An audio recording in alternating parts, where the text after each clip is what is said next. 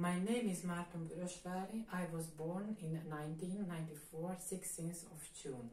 The first piece that I'm going to play, Wieniawski Last Caprice of uh, L'école moderne series. The second piece that I'm going to perform is a ballad. The name of this competition is 12th World Open Online Music Competition for Violin Solo and this video is for the World Open.